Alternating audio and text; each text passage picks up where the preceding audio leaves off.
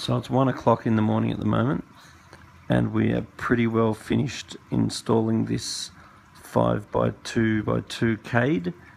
Um, very happy with the custom made light stands that we've jigged up. They look pretty awesome. So we can hang these Spectre 120s in it with a bit of style. We have converted a 4x2 and a Red Sea Max into this aquarium because it's very common for people to start out in the hobby, end up getting multiple tanks, and then saying, blow it, I'm just going to get real one real good one. It's a pretty common scenario. So the water's particularly cloudy at the moment because we wanted to use a lot of the the sand from the other tank and we didn't want to wash it because we wanted all the good bacteria and, and so forth in the new tank. So the disadvantage with that is it makes the water all cloudy but within a day or so that'll all be cleared up. So the corals are in, the fish are all in, the water circulation and agitation is excellent. Down here we've got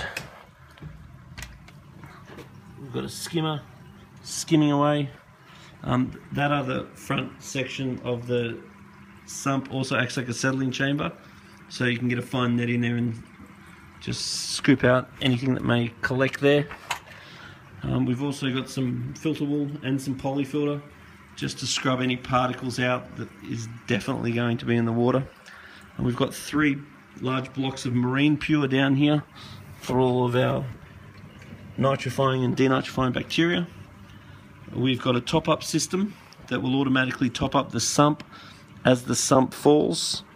We've got a um, um, auto dosing system which is dosing nitrate remover, phosphate remover, magnesium, calcium, alkalinity, and ma magnesium.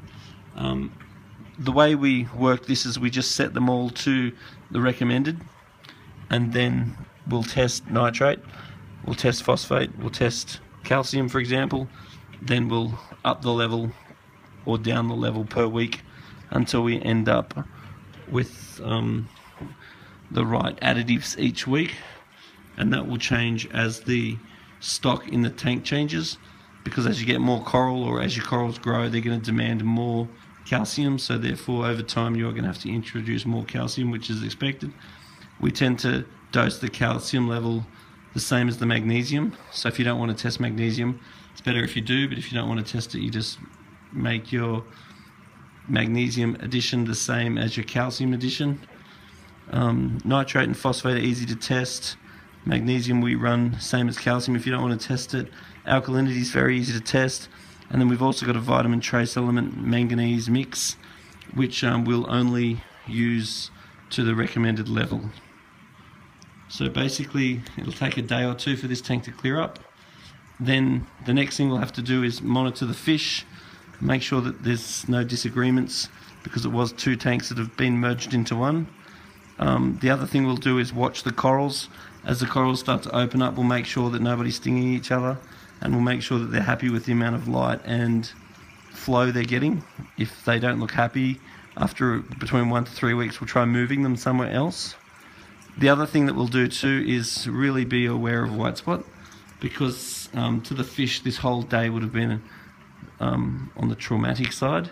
So therefore we will have some medic on hand and if we see any sign of scratching or itching or irritation with the fish or any white spots on the fish, we'll hit it with medic straight away and we'll drop the salt level a little bit.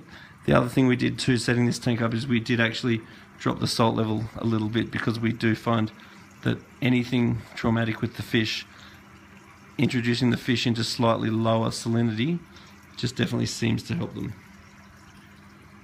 So anyway, we'll get some video updates with time with this tank and um, needs to be about as spectacular as it gets.